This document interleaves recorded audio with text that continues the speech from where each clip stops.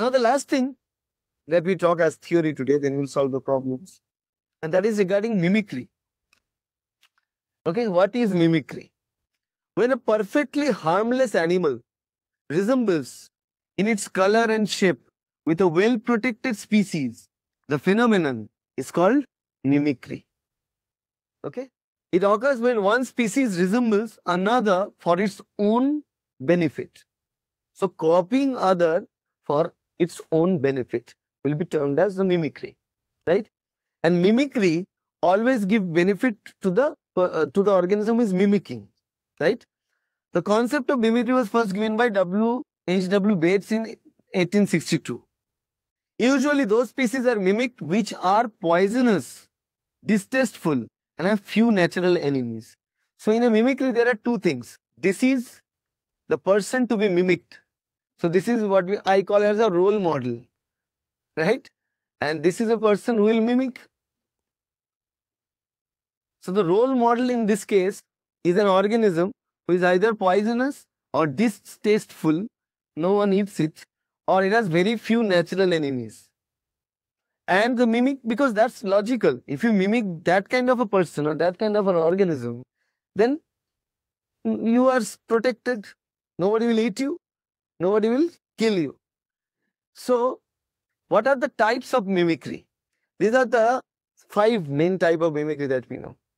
Protective mimicry, aggressive mimicry, Batesian mimicry, Mullerian mimicry, auto mimicry. So auto mimicry and other any types, these are less common, but mainly these four types, protective mimicry, aggressive mimicry, Batesian mimicry, Mullerian mimicry. Okay, for examples. You see examples with pictures, it's easy to remember. There are some things that you need to remember and write in the exams from this topic. First one is protective mimicry. When the mimicry provide protection to the mimic, it's provide, it's known as protective mimicry. Simple as that. Mimicry is providing protection to the mimic. In this case, you can see two examples are listed here.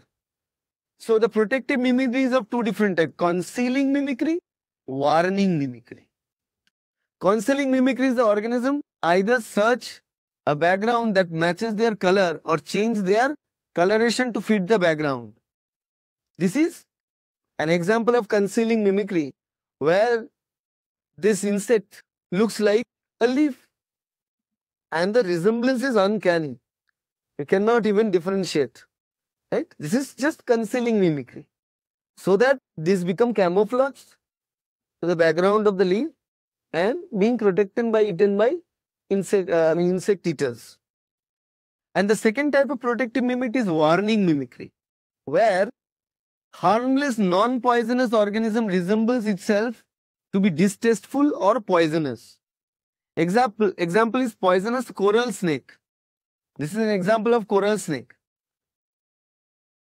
So here you can see two example.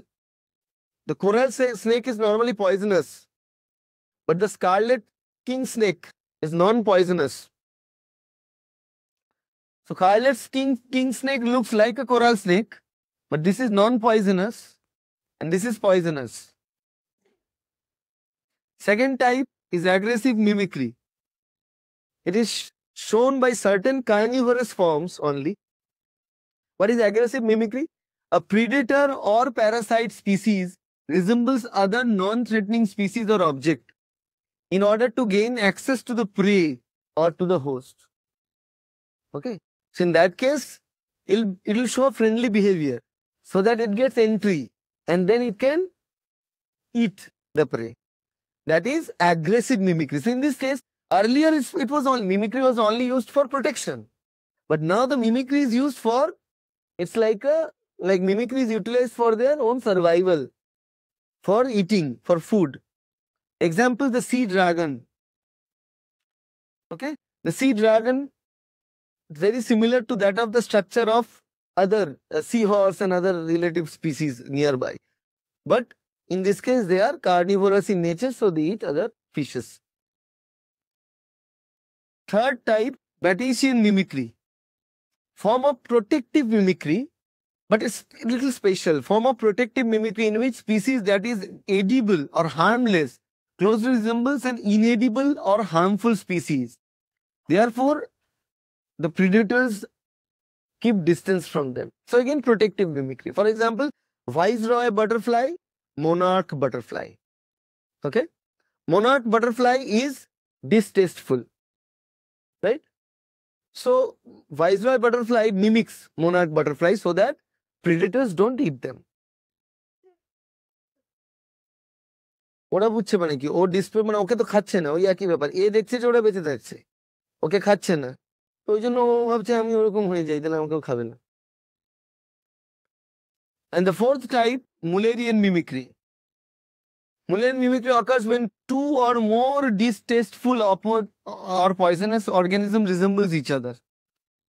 Yellow jacket wasp, cuckoo bee, these are all examples of Mullerian mimicry two or more distasteful or poisonous organisms resembles each other. Mullerian mimicry was discovered by Fritz Muller. Right, so they both in this case resembles each other so that they protect them, they're resembling each other so that they are not fighting against each other in that sense. দুজনই যদি ধরো একই হয় ও opponent বুঝতে পারছে না opposition কে আছে নাহলে আরেকজন একজন কোনো একজন থাকবে এখানে দুজনই থাকছে and auto mimicry auto mimicry or inter intraspecific mimicry occurs within single species when an animal mimics parts of its own body example pygmy owls has a false eye you can see this is normal eye and this is the back side of the head looks like an eye Oh, that is the example of auto mimicry. Okay. This is another example. Uh, false head. False head. This is the real head. This is the end of the wing where they attach some whisker-like structures and some black pigmentation. So it seems like two heads in both the sides. So false head and false eye. Examples of auto mimicry. What is the cause of mimicry? Now you may ask a question like, why do we need mimicry? In simple terms, you know, it's mostly protective in nature. It helps protecting the mimic from being eaten by the predator. Sometimes it's also helping the mimic to uh, catch the prey and eat it, right? So in both this aggressive mimicry and uh, protective mimicry. But actually, natural selection, according to Weismann, the natural selection is the only known factor that actually cause the production of mimicry.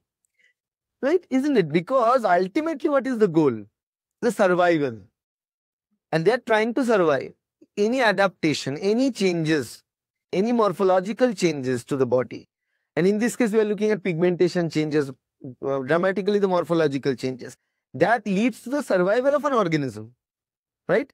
So obviously that organism will be selected and the next generation will be of that kind, of that category. So that's how it's being done.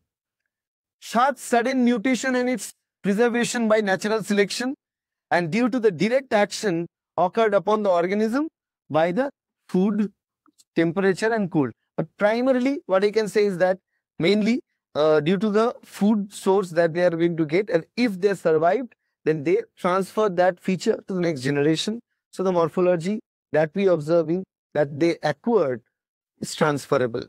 So the generation after generation would have that change, that modification. So mimicry is stabilized by the natural selection.